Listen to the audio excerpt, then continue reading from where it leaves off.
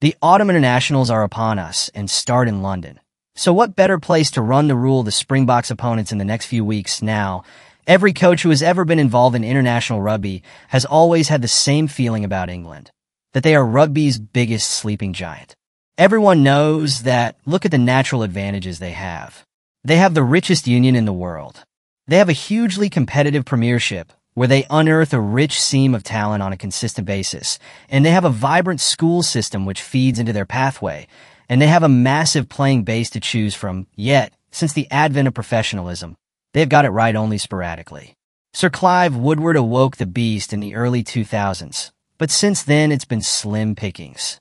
Indeed, I still find it staggering that they have only won one Grand Slam in the last 20 years. Once they get their act together, they will be very hard to beat. But first England need to decide how they want to play.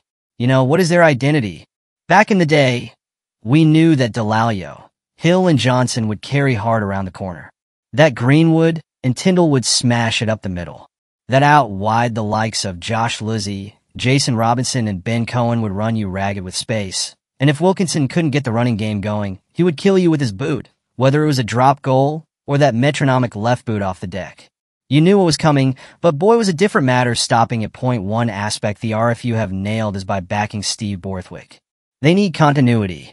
He is the youngest international coach on the circuit, so he has time on his hands. He has kept a nucleus of players they've rewarded with a central contract, and this has further strengthened his hand in controlling the players. These are the sorts of things that can really help harmony, identity, and cohesiveness. And don't forget, they have genuine talent coming through.